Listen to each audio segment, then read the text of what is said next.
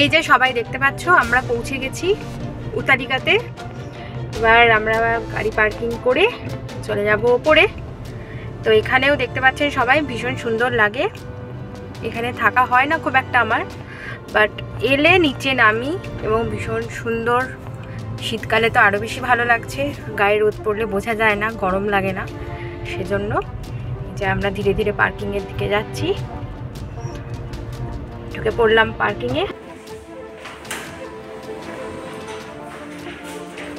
আমরা পৌঁছে গেছি। গল্পের হিরো মিসিং ছিল ড্রাইভ করছিল। এবার আমরা লিফটের দিকে যাচ্ছি লিফটে ঢুকবো। লিফট লবির কাছে পৌঁছে গেছি, তাই আমি ভীষণ খুশি। চলো লিফটে ঢুকি।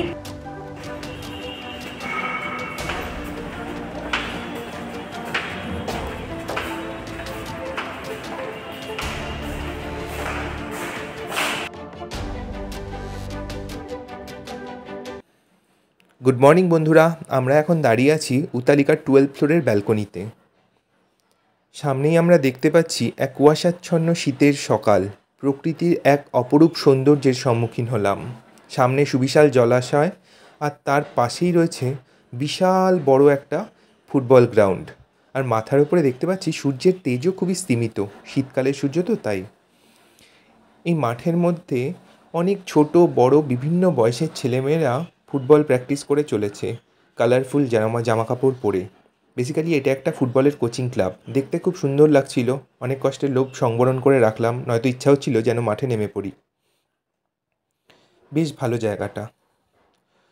আর এই মাঠের ঠিক পাশেই যে বিশাল বড় লেক বা জলাশয়টা আছে, মাঝখানে তার একটা ফাউন্টেনও ছিল।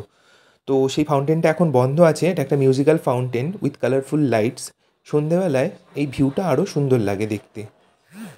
আর চারপাশে ছোট বড় বিভিন্ন সাইজের ঘরবাড়ি হাই রাইজ বিল্ডিংগুলোও অসাধারণ লাগছিল এই ভিউ পয়েন্ট থেকে।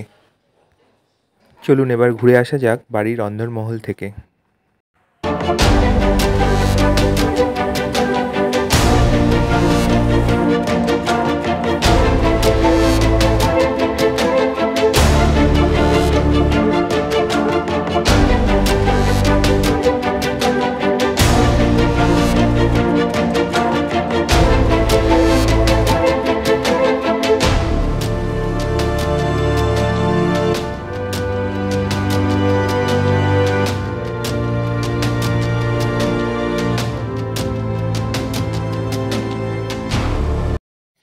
এবার আমরা চলে এলাম ব্যালকনির মিসাইল লঞ্চ প্যাডে আমরা দেখতে পাচ্ছি হাসি হাসি মুখে গর্বিত ডক্টর বাসু দাঁড়িয়ে আছেন। ওনার নতুন আবিষ্কার অগ্নি ফাইভ পয়েন্ট ফাইভ মিসাইলটি হাতে নিয়ে। এটি একটি ব্যালিস্টিক মিসাইল এর ওয়েট মাত্র দু গ্রাম। Operational range ten thousand kilometre দেখা যাক কী হয়।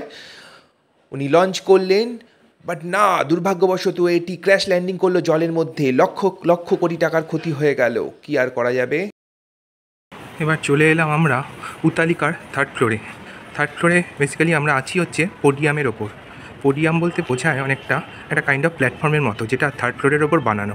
এখানে একটা দেখতে পাচ্ছেন আপনারা, সুন্দর গার্ডেন এরিয়া সুইমিং পুল সব কিছু আছে এই পোডিয়ামে এক নয়নাভিরাম পরিবেশ এখানে।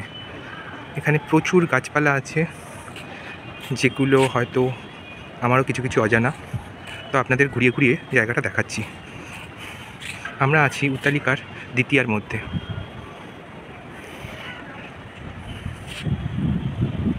সামনে থেকে হেঁটে আসছেন আমাদের পৌলমি। ওনার নামই পলু। চলুন এবার আপনাদের ধীরে ধীরে সুইমিং পুলের এরিয়াটা দেখাই। এবার আমরা উতালিকার সুইমিং পুলের এরিয়াতে।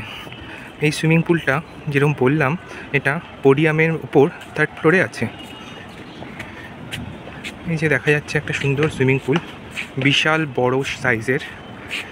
এক্স্যাক্ট লেন্থটা আমি জানি না, কিন্তু দেখতে পাচ্ছেন কি সুন্দর চারিদিকে বসার বন্দোবস্ত করা।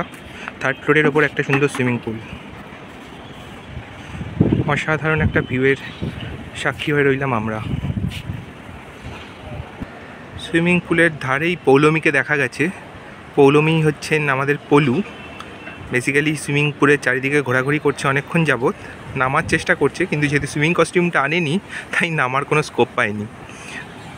তো খুব সুন্দর সুইমিং পুলের একটা অসাধারণ ভিউ। পরে অন্য কোনো দিন একদিন নামা যাবে। আজকের মতো এখানেই থাক। যে আমাদের হিরো বসে আছেন আয়েস করছেন বসে বসে। আর সেই সাথে রোদ পোহতে পোহতে ভিটামিন ডি সঞ্চয় করছেন। গাড়ি চালানোর জন্য যেটুকু এনার্জি দরকার, সেটা সঞ্চয় করে নিচ্ছে। তো যাই হোক, আমরা এবার বাড়ির উদ্দেশ্যে রওনা দেব। হ্যালো গুড আফটারনুন আমার বাড়ির ভ্রমণ শেষ। এখন আমরা বাড়ির উদ্দেশ্যে আবার রওনা দেবো। কালকে থেকে আবার রেগুলার রুটিন তো এই যে আমরা তালিকার বাইরে হালকা রোদের মধ্যে এখন ঘোরাঘুরি করছি। এবার ধীরে ধীরে বাড়ির দিকে যাব।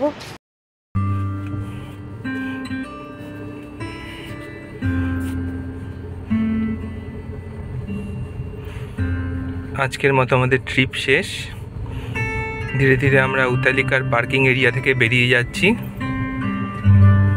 এবার ধীরে ধীরে এগিয়ে যাব আমাদের সাপুরজির দিকে। উইকেন্ড শেষ, মজাও শেষ। কাল থেকে নতুন করে ডেইলি লাইফের অফিসে সমস্ত চাপের জীবন শুরু। আজকের মতো গল্প এখানেই শেষ। টাটা।